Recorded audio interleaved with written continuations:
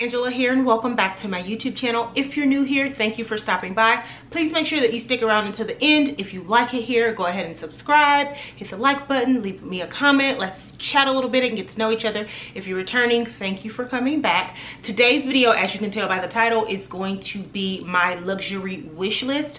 I love watching these videos. I love to see the things that people are coveting, the things that people have on their wish list, the things that they would or could or will buy eventually. And so I wanted to go ahead and film one of my own, especially because I don't really see a lot of people with things that I have wish listed. And you know personal style is relative it's subjective you know it's personal. And i'm excited to maybe share some things that you haven't seen before. So again if you like what you see make sure that you like subscribe leave comments all of those things.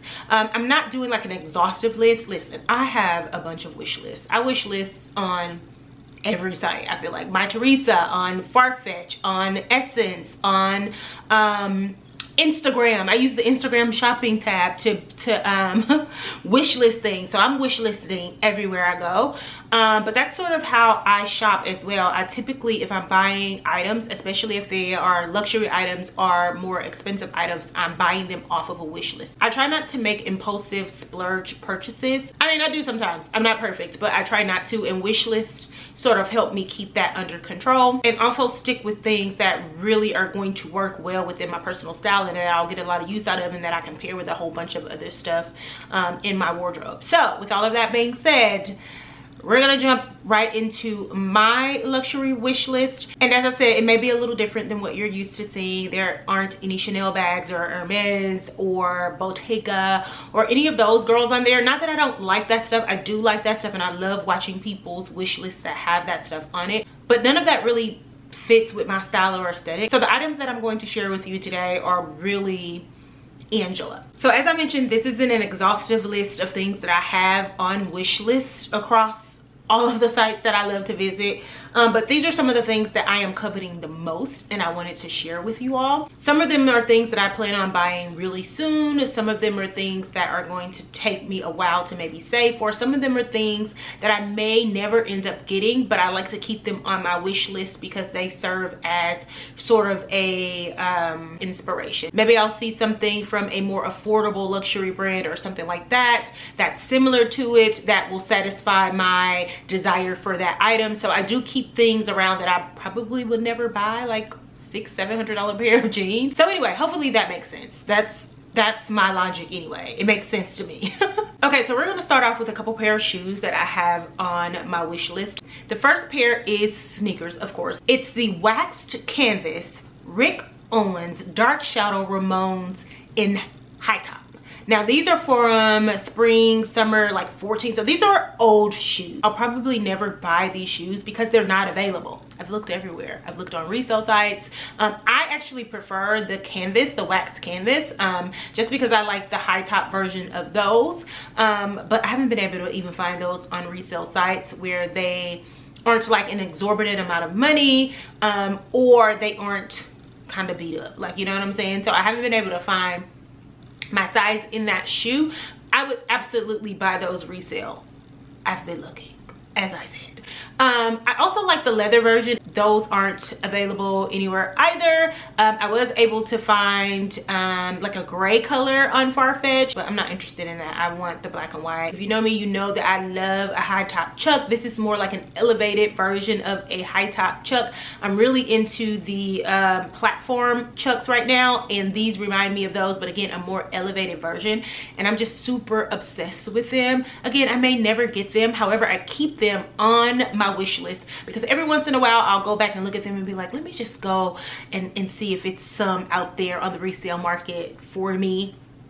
Or if they ever were to re-release them, I would snatch them up. I think the retail price for the waxed canvas ones um, is about $615. I would actually pay $615. I'm just telling you now, I would go ahead and splurge. It's worth the splurge to me because I love them that much. And they're super popular right now. They're really trendy. Everybody has them, but those are one of the trendy items where like, I don't care because it fits my aesthetic to the T. And even after they aren't trendy anymore, they will still fit really well within my wardrobe. So I really don't care that they're super popular right now. So the next shoe that is on my luxury wish list is a very popular brand right now, but the stylish shoe that is on my wish list, I haven't really seen a lot of people uh, wear them or wish list them and that's Amina Muaddi. I'm really feeling Amina Muaddi right now. I love her designs. I love her unique uh, heel designs and all of that. But the pair of shoes that uh, I have on my wish list is just a regular old pair of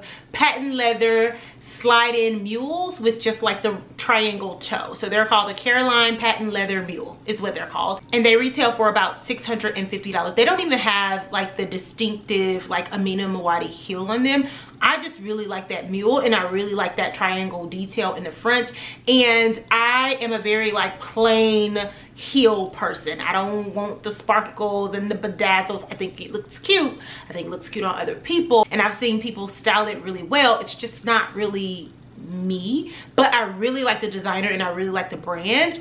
Um, so these patent leather uh, mules are like right up my alley and i was this close to buying them and i didn't but i kept them on my wish list because if i am in the market to splurge on a pair of heels for a special occasion or something like that if these are still available i will definitely grab a pair of these. I would absolutely pay the retail price of 650 dollars. This is a worth it splurge to me. I love these shoes. So these are to stay on my wish list at least throughout the year and you never know. You might see them on my channel one day. Okay so moving on from shoes to something that if you aren't new to my channel then you've heard me say that i don't usually spend a lot of money on this thing and it is sunglasses. I don't spend a lot of money on sunglasses because i'm careless. I am irresponsible. I will leave them in a restaurant i will leave them in a car somebody else's car because i don't drive on a train. I will leave wherever they gonna get left. They gonna get left. And so i stopped spending lots of money on sunglasses a while ago because I just cannot keep up with them. And I think the most that I've paid for a pair of shades in the last year or so are a pair of Poppy Lissaman shades that I just recently got and they were like $115.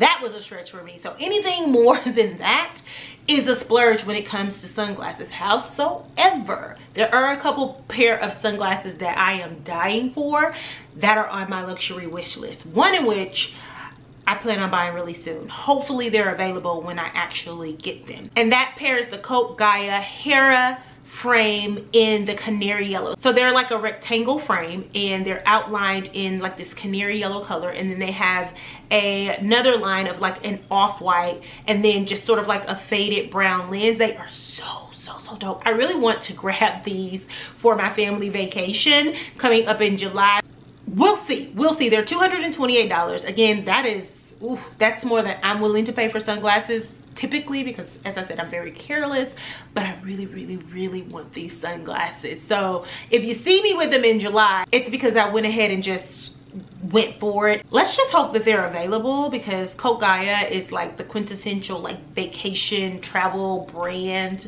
for the girls that love luxury and the world is opening up and the people are traveling and so I would be surprised if these actually sell out but I absolutely love them. I would definitely pay the $228 against my better judgment because they are just bomb.com. The next pair of sunglasses on the list are by Prada and I love these sunglasses. I, it's the shape for me. It's the shape and it's the complete blackout lens. I'm into a complete blackout lens. Like it just looks so dope. You look like um old dude from the Matrix. What was his name? Neo? Neo? Theo? Neo? They're the Prada symbol glasses. They come in both black and white. I want the black version. I want to be blacked out. They are so, so dope. To be completely honest, they may just stay on my wish list though. They're $410. I Mm, girl i'm not even gonna play myself. I'm gonna keep them on my wish list just in case somebody maybe wants to do something nice for me. I can send them their way or just to remind myself that i really really like this style and shape.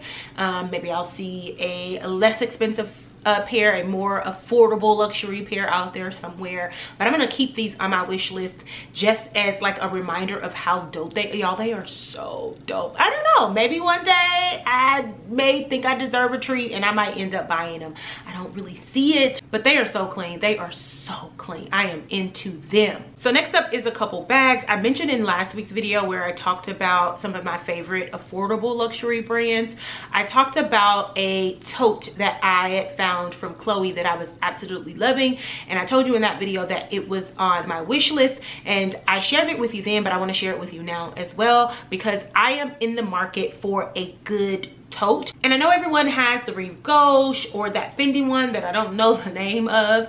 Um, and those are beautiful. I love them. I actually have the Rive Gauche on my wish list simply because i'm in the market for a tote. I'm not paying 1300 dollars for a tote. I'm just I, I'm not doing it. But I did go on a hunt to find a more quality tote because I'm right now I'm carrying a, a Black Girl in Trader Joe's tote that my friend bought me, which I absolutely love. I have carried the dust off of that thing. And because i carried it so much that's what made me feel like i should go ahead and just splurge on a tote. Um love the Rive Gauche like i said i'm not paying for that. Love the fendi one. Not paying for that. So i found the chloe uh, large woody tote. And i talked about in last week's video as well how chloe's accessories tend to be uh, slightly less expensive than their counterparts. So this large woody tote bag retails for about $990 where the Rive Gauche starts at 1100 and it goes up from there. And this is just as beautiful. It is luxury it's expensive and i absolutely love it. My only thing is it's kind of bright. Like they have other versions where the leather and the lettering is a different color but it's still like this super light colored fabric and i just don't really know how this gonna work because when i say i carry it every day i mean i carry it to the gym i carry it to the store i, carry it overnight i just it it goes everywhere so it's gonna get some some wear and tear i absolutely love this bag i have it on my um, wish list because I haven't decided whether I want to go ahead and take the plunge. I kind of want to keep on looking. I also have just this plain oversized tote bag from Acne Studios on my wish list that runs about $350. It may be more practical. It may make more sense to just buy that one. So that is also on my wish list. A little less of a splurge than the Chloe, which is why it's not really a part of this list, but it is because I'm mentioning it. Um, but that is a high contender as well because it just, it's more practical and it makes more sense and it's $350 as compared to 990 Speaking of Acne Studios, the next item on my wish list is a bag from Acne Studios. And it's their mini Musubi crossbody bag. So it's in this beautiful like cognac brown color, which I'm really feeling. My Chloe Mini Marcie is in the same color. And I've realized that this is pretty much a neutral for me. Like I wear it with just as much stuff as I wear my black Mini Antigona with. And so when I saw this bag, I was like, I want that bag. I want it. It's a micro bag, so it's super small just like I like it. Um, it's a crossbody, but it also has a top handle. I'm not that much of a top handle girl, but I like the variety and it only retails for $650. So it's highly likely that when I'm ready to purchase another bag, that this is going to be the bag so long as it's available. I love the leather. I love that there's no logos on it other than the really small Acne Studios logo. I love the versatility of the crossbody and the top handle. It's absolutely worth, for me, the $650 investment. Plus, I can get this and the tote for the price of the Chloe tote. Again, the Chloe tote is much less than some of the other brands um, in its category. But girl, if I can get two Acne Studio bags for the price of the Chloe bag, the math says you get the two Acne Studio bags. My math says that's that's how my math maths okay okay so we're down to the last two items because i didn't want to make this video super super long if it does really well maybe i'll make a part two because i have enough material to do a whole series on this um but this time around we'll keep it cute and short so the next two items on the list are jeans I'm a jeans girl. We've established this on this channel. I love jeans. My favorite designer jeans right now is hands down Maison Margiela. I love every pair of jeans that they design. They're outrageous they're unique they're quirky they're all the things that i love in a jean. Of course i have two three four five pair of margiela jeans on my wish list. Of course i do. Of course i do. So the first pair of jeans is the straight leg distressed pair from margiela duh um and they're just a normal straight leg jean and then they have like this uh slit on each side of the thigh and i just love this jean and i've actually seen them on other people on YouTube and I'm like, oh, they look as good on as they do in the picture and I want them. Howsoever, they are 650 whole American dollars. $650. And girl, mm-mm but I love them. I love them. And I'm probably never gonna buy them. I'm gonna be quite honest. Howsoever, they stay on my wish list because I just like the visual. And I'm just hoping one day that a more affordable luxury brand, I'm not talking about a dupe, so I don't want something off of ASOS or Zara or something like that. But maybe a good affordable luxury reference to this jean like maybe AGOLDE or mother or something like that. Another really good quality brand. Doesn't have to be this exact style but maybe you know a little bit inspired by. So i keep them on there because i just absolutely love going into my wish list and seeing these jeans because they're perfect. The second pair of jeans on my wish list is also a pair of Margiela jeans but it is the mm6 uh, Maison Margiela jeans, which is sort of like their um, See by Chloe or Mark by Marc Jacobs. So it's it still has the same aesthetic of Margiela. It's kind of the same design thread as Margiela. It's just a lot less money not a lot less but it definitely costs less um it looks like it may be for maybe a younger audience um it has slightly more of a younger more trendy vibe but still quintessential margiela so this next pair of jeans is also a straight leg pair of jeans but it has this white patch on the side of it and it gives the description of what the jean is like the brand of the jean um what season they were designed what runway they went down they just they are so dope and so unique. Can you imagine just wearing these jeans and people staring trying to read them as you walk down the street or people asking you what they say? Talk about a conversation piece.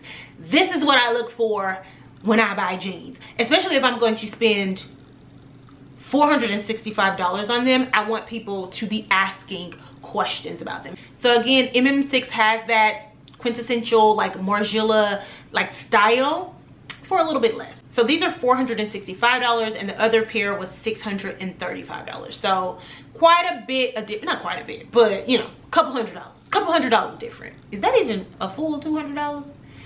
My math don't math without a calculator. But the MM6 pair is slightly cheaper. So guys, that is going to conclude today's luxury wish list video. I hope that you enjoyed it. Again, if you did and this video does well, I'll be happy to do another one because I have plenty more items that I can share with you. Um, hopefully you got some sort of like unique perspective. Again, these things are fun to watch, but they can get really redundant. So hopefully my personal style offered you a little bit of variety that you were maybe missing in these styles of videos. Make sure that, oh, speaking of luxury, I am wearing some black owned luxury so this is a muscle tee from Fe Noel um, who is a black luxury designer out of New York. Um, she runs her entire operation out of New York. And so I picked this up a couple months ago. I've actually filmed a video on this before but I don't care. I wanted to wear it again. So here it is. Just wanted to mention it because I had it on and I want the people to see. Um, anyway make sure that you're following me on instagram. My handle over there is b angela underscore be and i will talk to y'all in the next video. Bye